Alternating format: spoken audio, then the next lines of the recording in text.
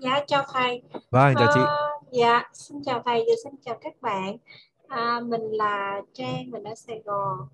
À, thầy thì cho hỏi tại vì em em có tham gia của mình là à, cách đây có mấy tháng mà Vâng. em đăng được có một bài nhưng mà vì lý do sức khỏe thì à, à, hôm nay là em mới chính thức là em nghe lại Rồi, nên là mới có thầy cho em hỏi là cái mình mình đăng bài á, lên lên cái cái group mình á, là à, mỗi ngày không phải là mỗi ngày đi là mình đăng thường xuyên cùng là một cái bài đó rồi mình cứ ghi âm đi ghi âm lại mình cứ post lên trên trên trên trên cái group đó hay sao thầy hay là vâng, thế cũng được chị ạ.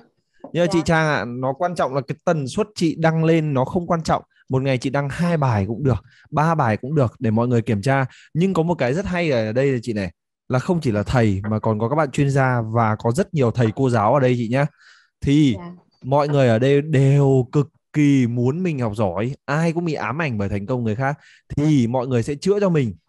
Và nếu mà mình cứ đăng nhiều và mỗi lần đăng mình tiến bộ hơn lần trước thì chị một ngày đăng 10 bài cho thầy. Thầy sẽ hứa là chính thầy sẽ vào chữa từng bài cho chị. Nhưng có một điều rất đáng buồn.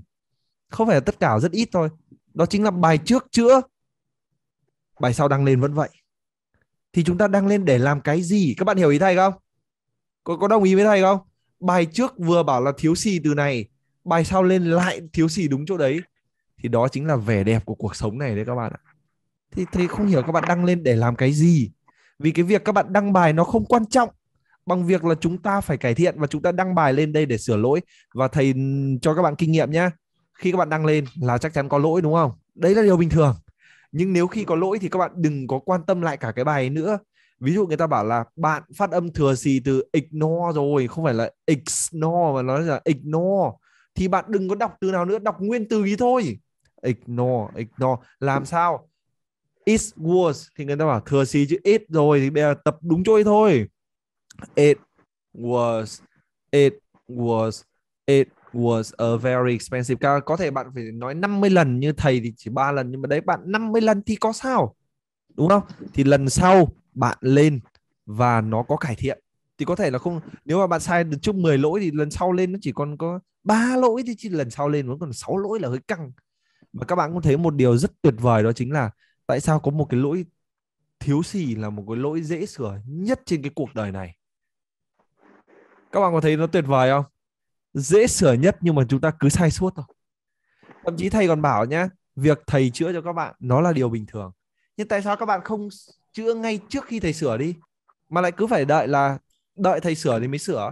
Trong khi các bạn vào group và đã thấy được những người khác đăng lên đúng không các bạn? Hãy được hay các bạn cũng không xem luôn. Các bạn nên xem cả những người khác nhé thì xem và thấy là à thầy nhắc là đây chỗ này thiếu gì và tôi đang thiếu gì thì sửa luôn chứ tại sao mà đến lúc chúng ta lại phải ấy nữa? Đúng không? Thì chúng ta không phải ở đây là chúng ta sợ là làm phiền người này người kia không. Nhưng đây thầy muốn các bạn học một cái thói quen. Đó chính là ví dụ ra đường đúng không? Nhìn thấy cái gì hay hay là chúng ta phải học luôn. Còn nếu bạn như thế kia nhá ra đường nhìn cái hay bạn chỉ biết hay thôi bạn cũng không luôn. Đây là thấy người ta sai bạn học từ sai lầm người khác luôn. Đi ra đường thấy một ông đi ngược chiều tai nạn. Tôi không bao giờ tôi đi ngược chiều nữa. Nhưng mà thấy người ta đi ngược chiều tai nạn mai tôi cũng đi ngược chiều. Ồ, thế nó mới là tuyệt vời đấy đó, chị Trang ạ. Thì cái việc mà mình mua khóa học xong thì mình bận sức khỏe thì thôi không sao. Nhưng hôm nay khi mà chị đã vào đây mà chị lại nói chuyện với thầy, thì chị cũng biết là thầy ghê gớm như thế nào rồi, đúng không? Ghê gớm ở đây là do, cho chị với chị Trang nhé. Thì thầy chỉ nói trước một câu này. Đã rất nhiều người như vậy rồi.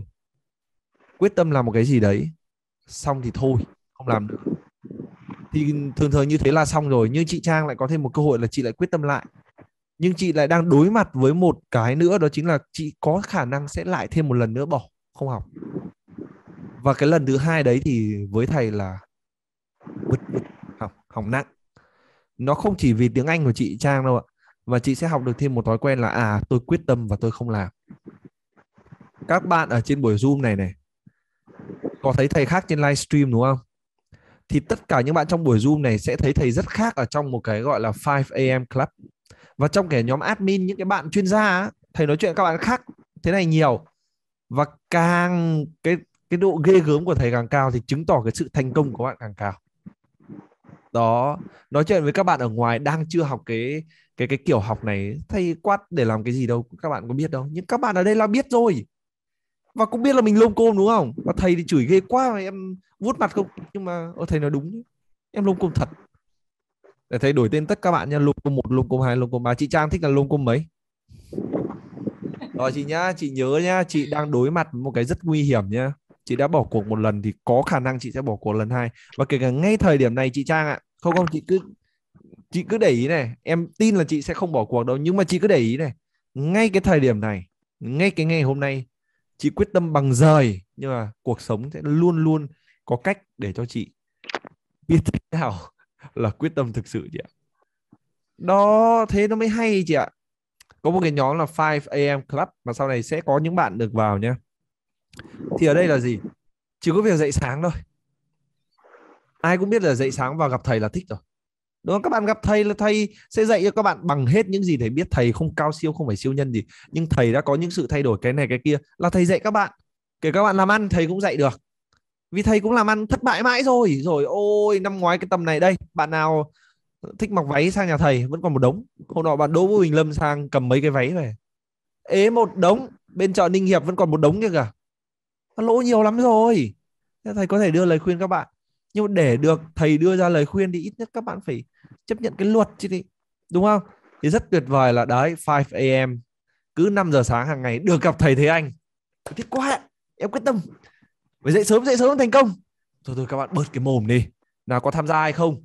Mỗi việc tham gia hay không cũng không quyết định được. Có những bạn cũng ngồi nghĩ suốt nên tham gia hay không nhỉ? Nếu bạn nghĩ thế thì bạn bảo không đi. Nhưng không nhá, cũng chẳng bảo không, chẳng bảo có. Ờ thế nó mới hay chứ đi. Các bạn phải nhớ nhá, cái việc các bạn không làm gì, không đưa ra quyết định nó khác với việc các bạn quyết định không nhá. Các bạn đừng có đánh đầu nó với nhau nhá.